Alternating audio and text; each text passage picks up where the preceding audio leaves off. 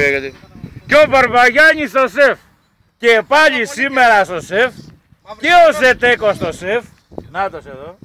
Έχουμε και πιστήρια. Τριμάρι καινούργιο αεροπλάνο θα πάρει η Παρθενιά, ετοιμάζεται. Ο Κώστας. Και ο Σταύρος στο σεφ. Ρε, είδες Αύγουστο τι κάνανε στο χωριό, όλοι είμαστε στο σεφ.